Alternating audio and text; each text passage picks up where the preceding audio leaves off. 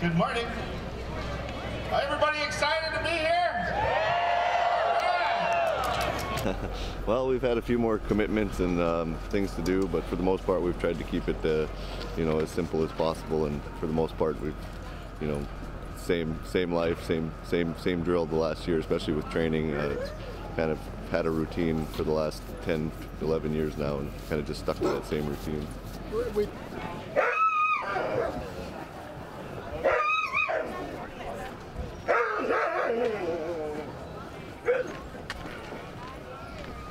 there's a lot of good teams, you know, but I like my team for sure. It's a really good team, same, almost the same dogs as last year. Um, few few new ones that are really good, and um, yeah, I mean the competition's stiff, and it's hard to predict stuff like this. But um, if um, yeah, I'm happy with my team and looking forward to getting out there. Uh,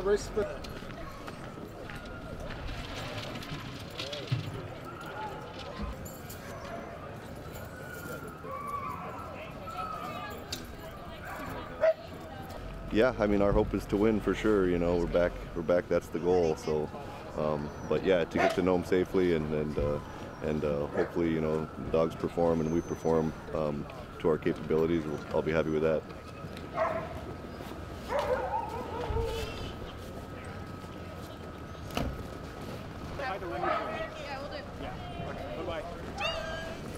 I'm not sure if like we're done.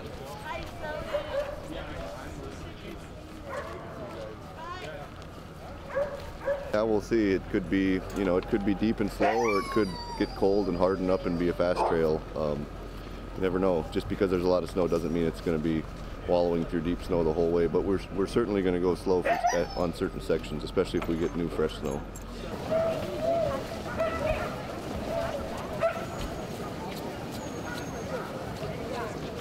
I'm an Iditarod with Linwood Fiedler. Lifelong, not lifelong, since 2006 I've wanted to do this. So eh, this is just a dream come true. And joining Mr. Fiedler and the Iditarod is Mary Kay Havens from the great state of Texas.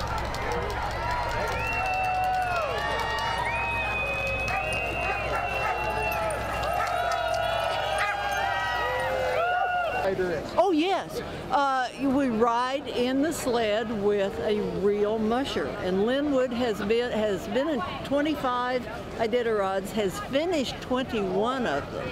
So, and we've met him before. So I, he was my first choice when we bid. Bidding was fun. Did it uh, January 17th and did it in Belize because that was someplace that had good Wi-Fi. So everything is working out beautifully.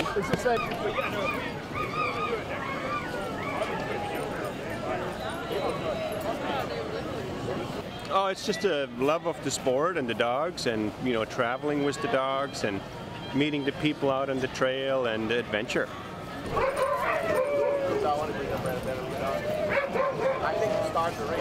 Uh, probably the moose, you know, with the deep snow, but it is what it is, and it's probably if it's deep snow, it's going to be a slower race. So, you know, it's one of those things that we all have to deal with.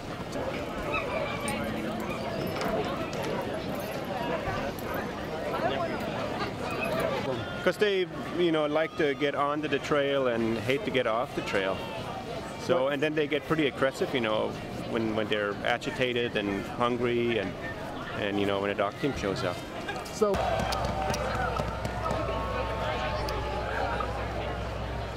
In starting position, number four this morning. Please welcome to Iditarod 48 from Connect, Kristy Berington. He sews harnesses and dog coats. Graves runs trail support, and the entire family supports and sponsors from the sidelines all the way from her base and 300 to just name a few. 30 seconds. The morning here at Iditarod 48.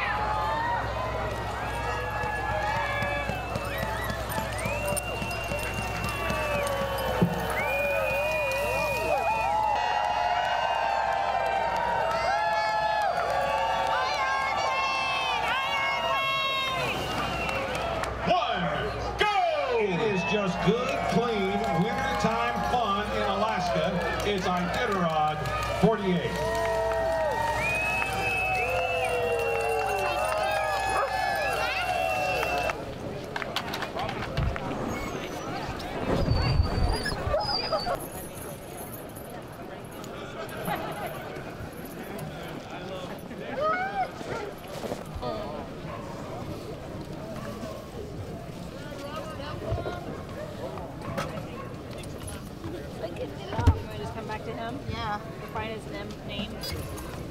Looks like it's got some in.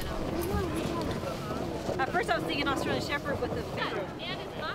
Look at All right, you're better.